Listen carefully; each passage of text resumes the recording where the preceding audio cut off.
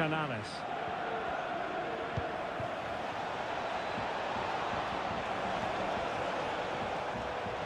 Well, very effective play in possession. And he put it in. and it goes! To improve!